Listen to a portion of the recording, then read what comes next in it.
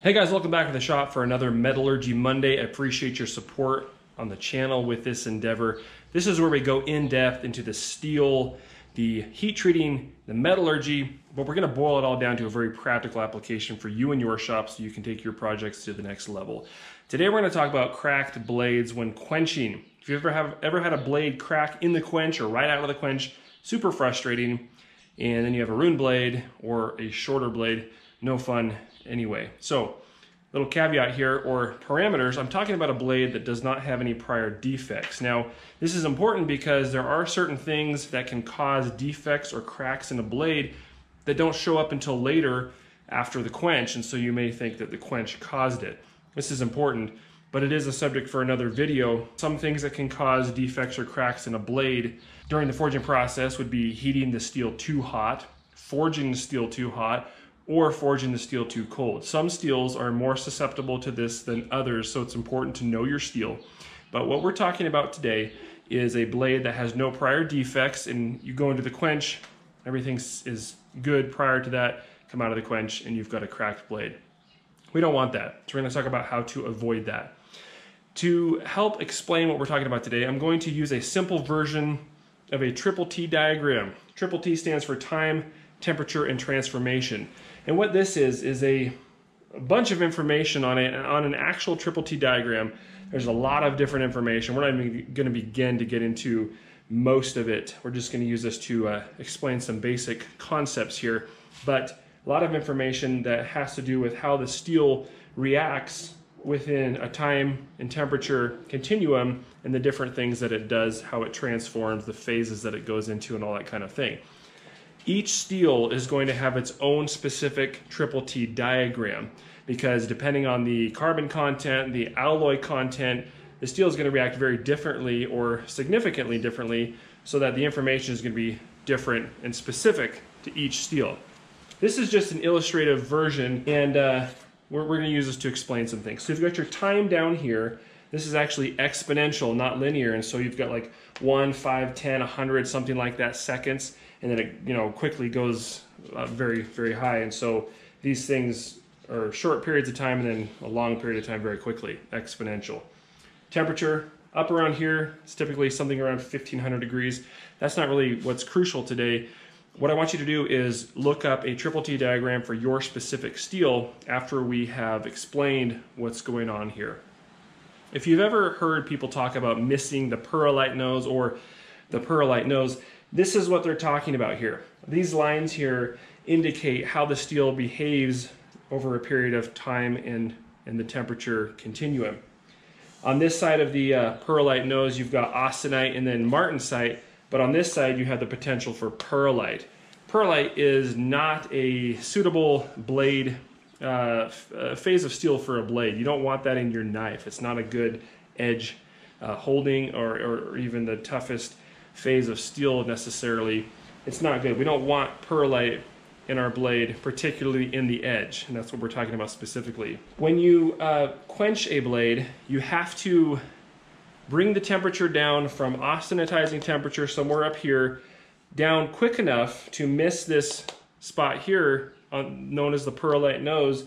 Otherwise, you're going to have some amount of pearlite in your steel, which we don't want.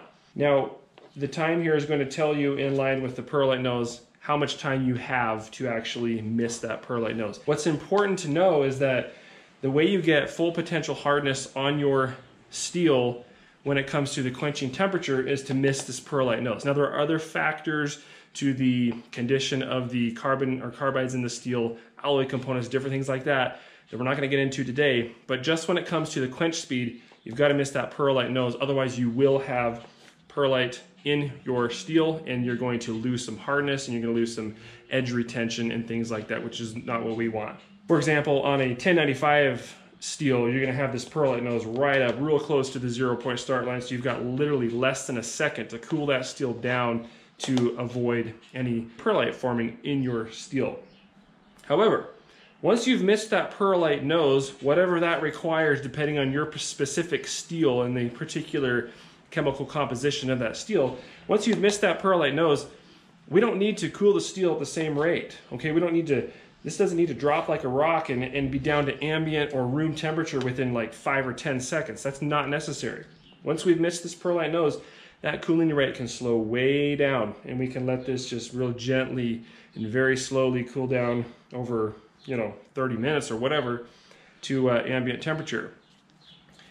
That is not going to affect the hardness of your steel whatsoever. What's important, again, is to miss that pearlite nose. Once you've achieved that, it can cool down very slowly comparatively, and you're still going to achieve full potential hardness.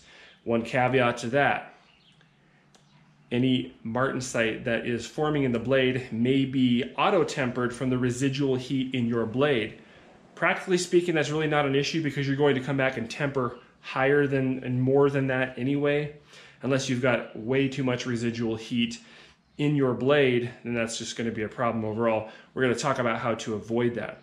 But you'll notice down here I've got a line that says MS. This is the martensite start line. And so in between here and here, you're not actually creating any martensite until the temperature of the steel starts to get down into here somewhere. And then sometimes you'll see a martensite finish on the on the uh, diagram, but a lot of times it'll be way down below here temperature-wise that you're not even going to see it on there. And that's where you have completed almost the full martensitic transformation. But the martensite start line is where you're actually starting to create martensite. So in between, you know, here and here, you're just waiting for the steel to cool down, and that does not need to be speedy. And this is why it's important because what causes blades to crack in general is the stresses that are created between here and here, not here and here. Because between here and here, you're still austenitic. We've removed enough of the energy from the steel that the carbon that has now been trapped in that austenitic phase cannot uh, migrate back out, but it's still austenite until you get down somewhere down into here. And so we don't have to cool the steel at a super fast rate. And if we do, we're going to uh, greatly increase the chance of cracking. Now, on a very practical level, how do you achieve this? Well, you could probably get like a, a laser thermometer or something like that and, and check to see what this temperature is to miss the pearlite nose on your specific steel. And, and I haven't actually tried that, but what I do in my shop, and I'll share it with you, is I will quench the blade until when I pull it out, it's still smoking, it's still pretty hot, too hot to touch certainly, but the oil that is on the surface of the blade is not evaporating at least not within several seconds. So it's still, pull it out, still smoking, but there's still a sheen or a film or a layer of oil on the blade that is not evaporating off. As it's smoking, it's going to eventually evaporate off, but within several seconds, it's not evaporating off. And that's how I, on a, just a very practical level, make sure that I've removed enough heat from the blade to miss the pearlite nose, not have too much residual heat, so to run the risk of over auto tempering, but it's not anywhere cooled down to here, and so it can slowly move down into the martensitic transformation. That's how I do it. Very, very practical, um, straightforward way. You're probably gonna have to practice this, practice this a little bit because there is sort of a range in there where it's still smoking a little bit, but you've actually cooled it down a little bit too much, and now you're stiffening things up. That's not really a huge issue unless you want to use this period of time in between here to straighten the blade, which is the next thing I want to talk about. One big advantage of quenching your blades like this is that you do have the ability to really work with that steel in between here and move it around quite a lot. It's still quite pliable. And this is going to depend a little bit on the alloy content of your specific steel and which, which one you're working with specifically.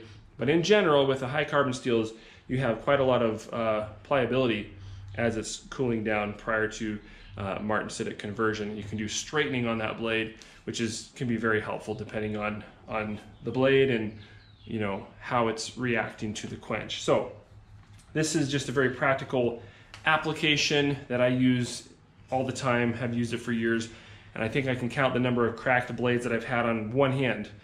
I would um, say specifically for this uh, because of this uh, methodology. So hopefully that's helpful to you guys in your shop. And I appreciate you watching. We'll see you next time on another Metallurgy Monday.